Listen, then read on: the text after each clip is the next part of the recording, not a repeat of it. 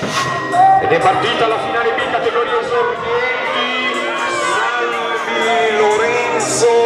Anzi Nicolò Volpano Verrone Chiarrea. E vediamo chi si porta al comando. Eh, anzi Nicolò inseguito da Volpi Manuel Vigevano Proem la sgommata che non molla in seconda poi in terza e quarta.